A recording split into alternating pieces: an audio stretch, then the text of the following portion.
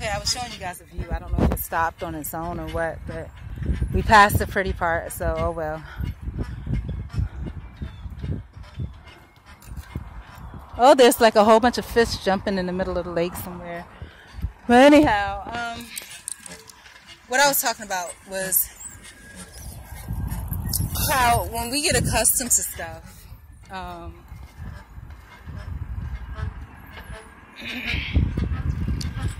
when we get accustomed to things and we realize it's not scary. So again, I talked about anger and fear. Um, do not let fear be a part of any type of showing that you do because to me, fear represents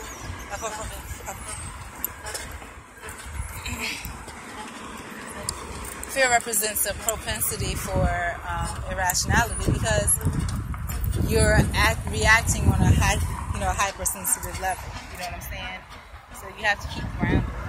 Um, and I was talking about the GPS thing and how initially, you know, I really wasn't, um, really wasn't with the GPS thing at all because I was like, I don't really want a satellite tracking me everywhere that I go.